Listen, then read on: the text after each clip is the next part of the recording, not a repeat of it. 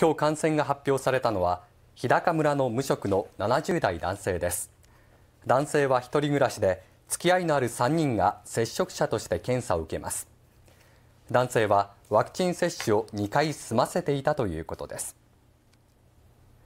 県は直近7日間の新規感染者14人のうち65歳以上が4人と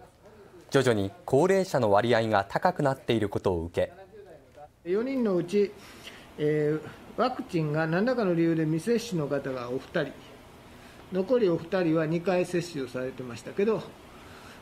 感染したということで、えー、ブレイクスルー感染ではないかなと思われます。ワクチン接種済みの2人は軽症。未接種の2人は重症となっています。